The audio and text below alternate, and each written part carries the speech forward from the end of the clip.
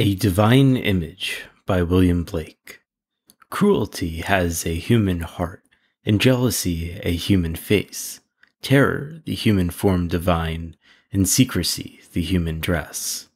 The human dress is forged in iron, the human form a fiery forge, the human face a furnace sealed, the human heart its hungry gorge.